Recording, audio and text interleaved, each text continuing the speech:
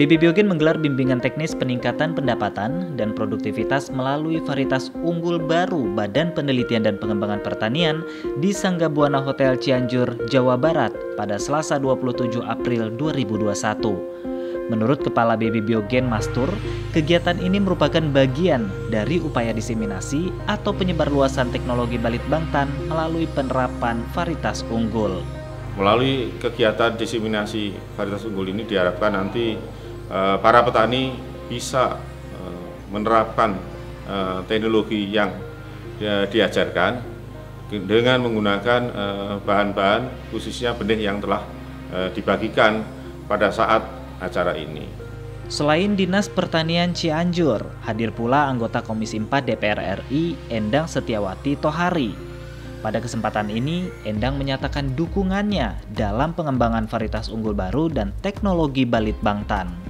Dukungannya berupa anggaran, Mas. Jadi kita mendorong supaya anggaran di Badan Litbang Pertanian, khususnya di Balai Biogen, itu diperbesar.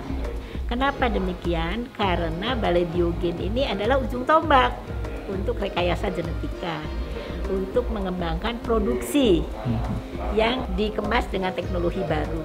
Ya. Dan di sana banyak ahli-ahlinya.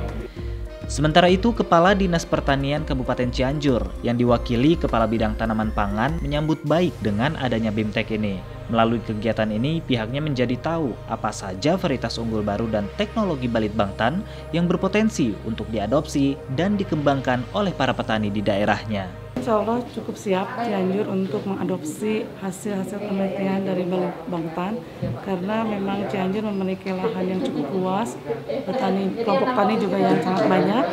Jadi kita akan mengaplikasikan tentu saja hasil-hasil penelitian yang unggul dari Balik Bangtan. Selain padi, pada saat ini yang sangat butuh kita itu kedelai karena lahan sudah siap tetapi sekarang benih susah. Jadi kita memang sangat membutuhkan kedelai apalagi kalau ada varietas yang unggul dari kedelai yang akan ditanam di lahan-lahan Kabupaten Cianjur. BIMTEK dengan jumlah peserta sekitar 200 orang ini dibagi dalam dua sesi.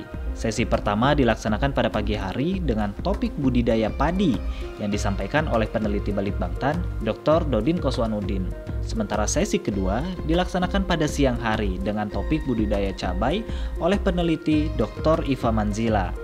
Dalam pelaksanaannya, seluruh panitia dan peserta diwajibkan menerapkan protokol kesehatan dengan sering mencuci tangan, menjaga jarak, serta menggunakan masker. Dari Kabupaten Cianjur, Andika Bakti melaporkan.